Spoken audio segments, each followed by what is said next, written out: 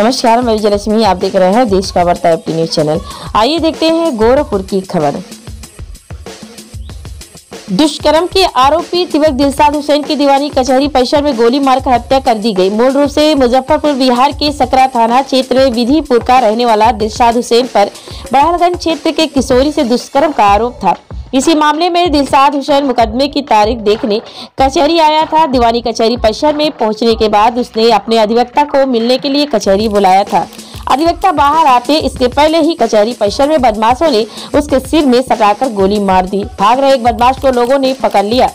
Police हिरासत में लेकर उससे पूछताछ कर रही है। दिलसाद हुसैन दुष्कर्म और पास्को एक्ट में आरोपित है और इस समय जमानत पर बाहर चल रहा है। उसका मुकदमा गवाही की प्रक्रिया में चल रहा है। कोरोना की वजह से कचहरी परिसर में वादकारियों और गवाहों के प्रवेश पर रोक लगी हुई है।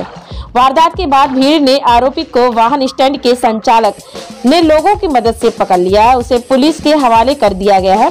पुलिस के मुताबिक दुष्कर्म पीड़िता के पिता को हत्या करने के आरोप में पकड़ा गया है। कैंट थाने में उससे पूछताछ की जा रही है। उसके पास से घटना में पल पिस्टल भी बरामद कर ली गई है।